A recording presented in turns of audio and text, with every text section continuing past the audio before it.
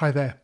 Now for this next part then, we're told that the curve C has this equation y equals 9x minus 4x cubed and asked to sketch the graph and show the points where it crosses the x-axis and you can see the shape of the graph here and it crosses the x-axis at points where x is minus 3 over 2, 0 and 3 over 2.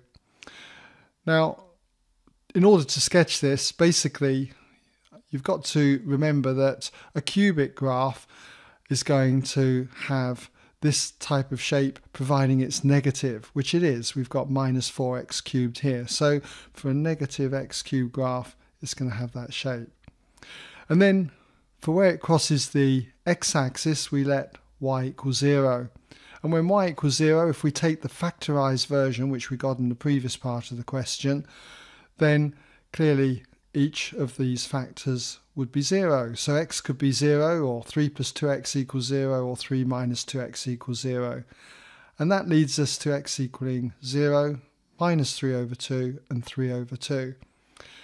And that leads then to this sketch as you see here.